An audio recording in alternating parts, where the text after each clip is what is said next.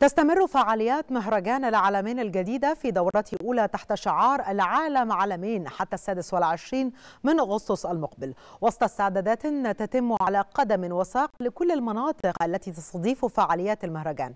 يستضيف كورنيش البحيرات فعالية السباق الثلاثي من السباحة وركوب الدراجات والجري حيث يتكون الكورنيش من ممشى سياحي بطول 10 كيلومترات وبحيرات صناعية بمساحة 700 فدان لتقدم كل الخدمات الترفيهية لزوار مهرجان العالمين الجديدة.